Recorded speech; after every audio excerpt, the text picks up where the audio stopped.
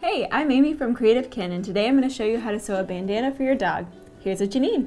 Two complementary pieces of fabric, a rotary mat, a rotary cutter, a ruler, pins, a triangle pattern from our site, this is for a large dog, an ironing board and an iron, and a sewing machine.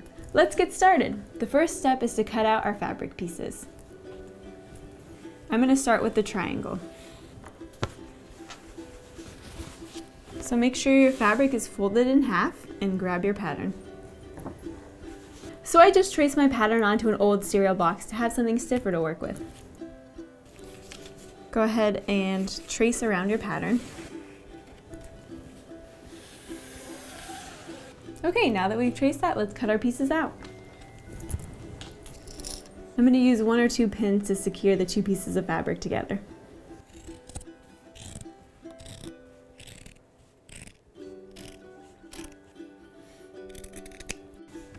All right, now that we have our pieces cut out, I'm gonna repin them together with the right sides facing in.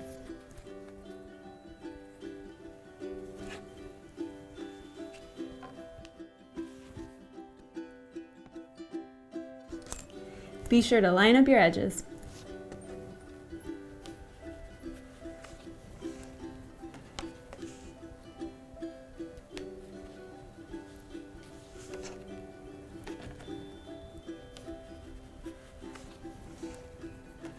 Now that our triangle is pinned, let's set it aside and cut out a rectangle. Be sure to fold this fabric in half as well. So for the rectangle, it's easiest if you measure your dog's collar. For this type of collar, measure to the hole that you use to buckle in. So take that measurement and add about 5 inches so you have plenty of fabric to tie it on.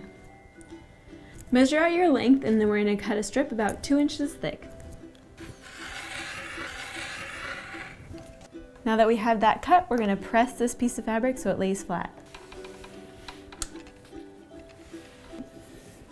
Great, now that this is pressed, let's go back to our triangle and sew our two edges together.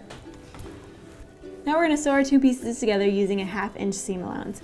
If you don't know where the half inch mark is on your sewing machine, you can grab your ruler and measure out from the needle.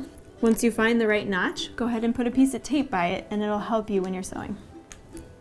Once you know where your seam allowance is, we're going to sew the edges together, leaving the top open. This tape is super helpful. I just make sure the edge of my fabric meets the edge of the tape. Once you get to the corner, you're going to leave the needle down, but pull the presser foot up, flip your fabric around, put the presser foot back down, and keep sewing.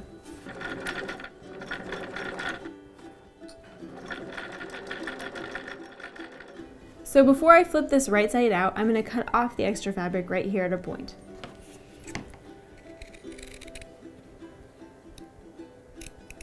Now grab your two open edges and flip.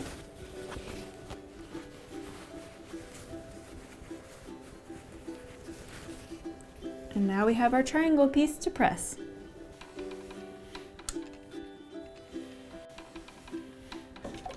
Now that this piece is ironed, we're gonna pin it inside our rectangle piece. So this triangle has these little edges. I'm gonna trim them off before I put them in the rectangle.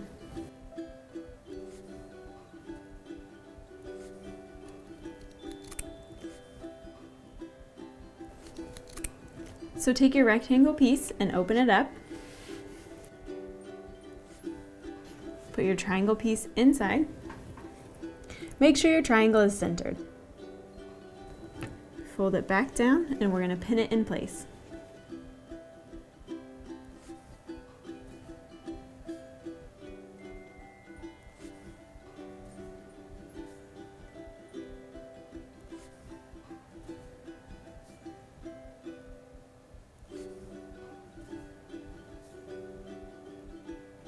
All right, now that we've pinned everything into place, we're gonna sew it. Now I'm gonna sew the open edge of our rectangle piece.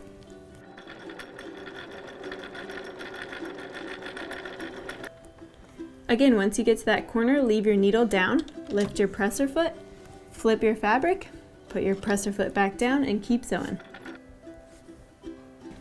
Instead of a seam allowance, I'm just making sure the edge of my fabric lines up with the edge of my presser foot.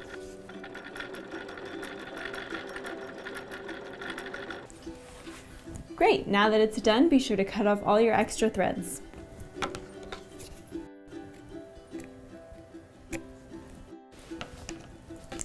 And there you have it, a bandana for your dog. We want to see how adorable your dogs look in their bandanas, so Instagram a photo and hashtag CreativeKin.